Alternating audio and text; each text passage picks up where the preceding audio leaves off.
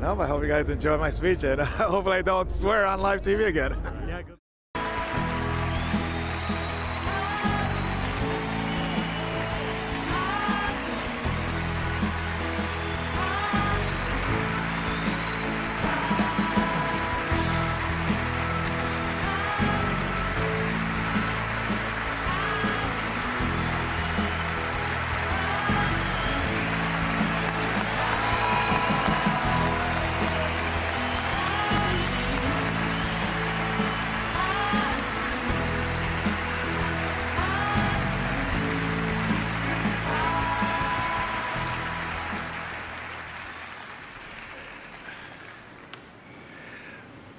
I'll first like to thank Marie and the Tillman Foundation.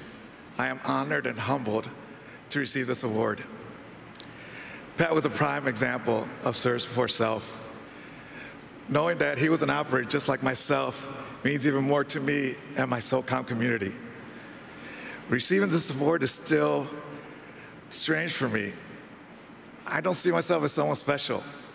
I just did what any other service member would do make things better for the guys that follow them and to take care of teammates. But I couldn't be in this position without some people that had my back.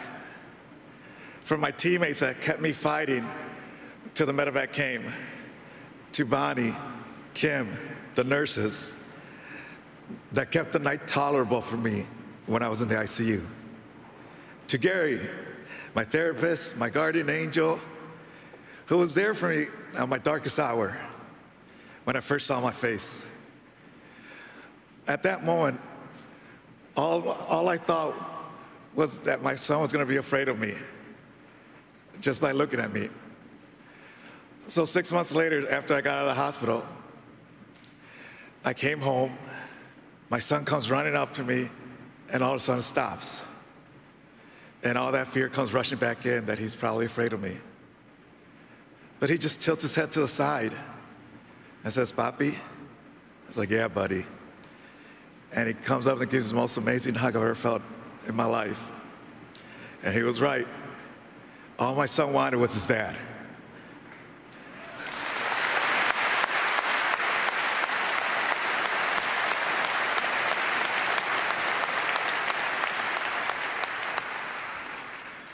Bueno, you're my fire. You are my spirit. You are the one that keeps me pushing every single day. You are my greatest accomplishment.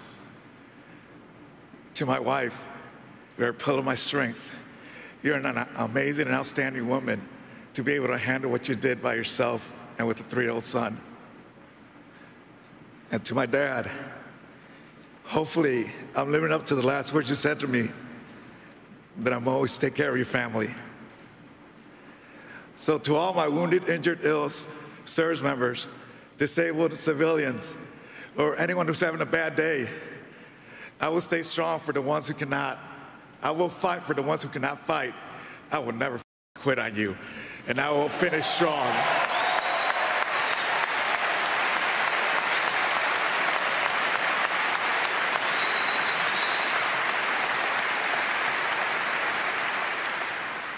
This is my promise. This is my pledge. And thank you for letting this guy who just had a bad day at work feel like someone special tonight. Thank you.